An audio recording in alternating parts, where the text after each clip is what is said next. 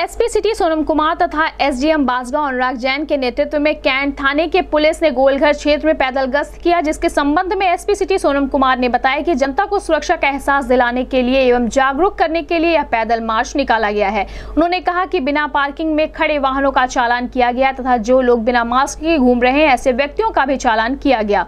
उन्होंने कहा कि शहर में जितने भी अतिक्रमण हुए हैं, उन पर भी कार्रवाई करके हटाया जाएगा। इस अवसर पर एसडीएम बासगांव अनुराग जैन ने कहा कि शहर की यातायात व्यवस्था को सुदृढ़ बनाने के लिए पैदल मार्च किया जा रहा है तथा शासन के द्वारा कोविड 19 गाइडलाइन के निर्देशों का पालन करवाने के लिए लोगों को जागरूक किया जा रहा है। उन्होंने कहा कि प्रयास है कि सभी लोग मास्क पहनकर चले, जिससे संक्रमण को फैलने से रोका जा सके। इस अवसर पर CO cantt Ajay Kumar Singh, cantt थाना प्रभारी अनिल कुमार उपाध्याय सहित नगर निगम के प्रवर्तन दल के कर्मचारी मौजूद रहे। इस संबंध में गोरखपुर न्यूज़ से बात करते हुए एसपी सिटी सोनम कुमार व एसडीएम बासगांव अनुराग जैन ने कहा। यही साहब जो जो जो डी का है वो बताया है यहाँ रहेगा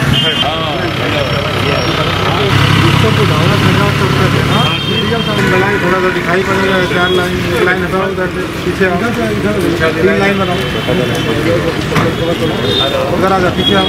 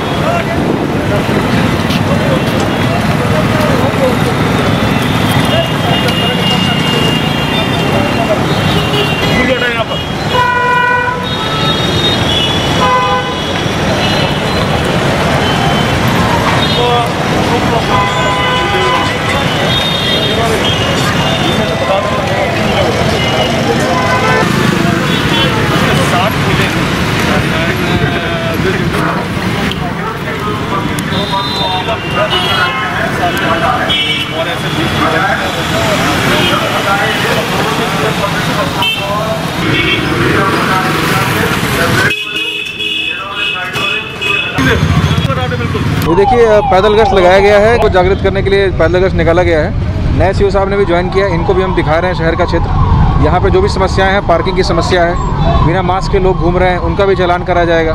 अतिक्रमण पे भी कार्रवाई की जाएगी। तो इस तरह की सारी कार्रवाई की जाएगी ताकि शहर की जो व्यवस्था है, वो सुदृढ़ हो सके। चुनाव भी है। चुनाव मुख्यतः तो ग्रामीण क्षेत्र में ही है। पर हम शहर में भी पैदल गश्त निकाल रहे हैं ताकि यहाँ पर भी कोई समस्या कोई समस्या न रहे। तो एस पी सिटी सर के निर्देशन में यहाँ पे या, शहर की यातायात व्यवस्था और चुनाव में और यातायात व्यवस्था और अतिक्रमण की कार्यवाही को हटाने के लिए ये पैदल मार्च निकाला जा रहा है। साथ में कोविड की जो गाइडलाइंस आ रही हैं, उसके लिए भी लोगों को हम लोग लगातार प्रोत्साहित करने की कोशिश कर रहे हैं कि सब लोग मास्क पहन के और इसीलिए ये पैदल गश्त निकाली जा रही है।